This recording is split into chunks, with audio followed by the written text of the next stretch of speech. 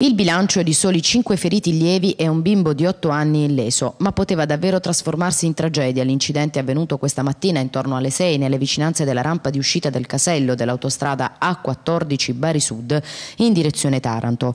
Un autobus con a bordo circa 60 passeggeri diretto verso un paese della provincia di Crotone si è ribaltato finendo contro una cuspide del guardrail. Le cause dell'impatto per ora sono difficili da individuare. L'autista, un 24enne, ora è sotto shock. Secondo quanto accertato il mezzo della ditta Fantini era partito ieri sera alle 20.30 da Reggio Emilia ed era diretto in Calabria. Dai primi rilievi della polizia stradale è emerso che dopo il violento impatto il pullman ha proseguito la corsa fuori careggiata e poi si è ribaltato. Sul posto sono intervenute cinque pattuglie della polizia stradale che hanno fatto rimuovere il mezzo disponendo lo scambio di careggiata per il transito degli automobilisti. I feriti sono stati trasportati in ospedale per precauzione, tuttavia le loro condizioni non sono gravi. Ad aiutare aiutarli ad uscire dal mezzo sono state due squadre dei vigili del fuoco. Indagini sono state avviate per accertare le cause dell'impatto.